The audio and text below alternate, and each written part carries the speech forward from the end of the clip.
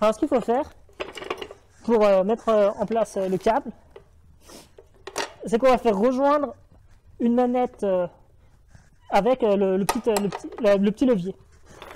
Alors, je vais vous montrer.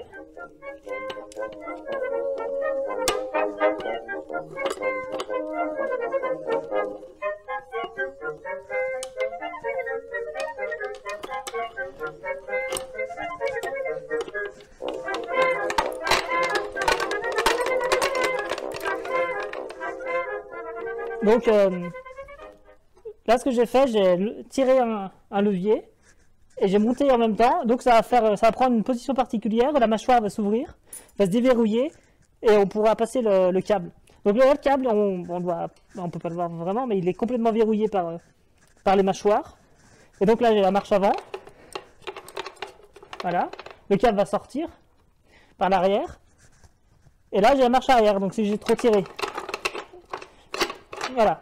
Et par exemple, si on a tiré une dizaine de mètres de câble et qu'on a terminé notre travail, on, peut, euh, on va pouvoir euh, enlever le câble sans forcément euh, faire que de la marche arrière très douce. Donc, ce qu'il faut faire, c'est qu'on va poser tous les leviers, comme ça, et qu'on va tirer fortement sur cette manette.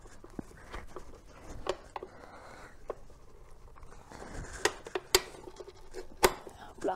Et là, on peut enlever le câble. Et après, on peut reposer la manette à la position d'origine. Voilà.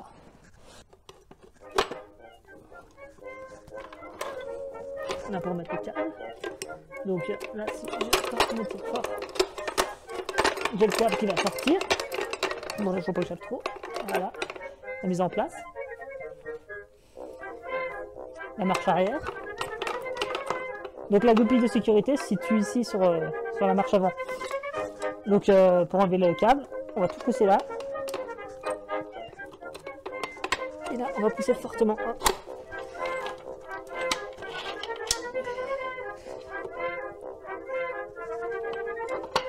Voilà.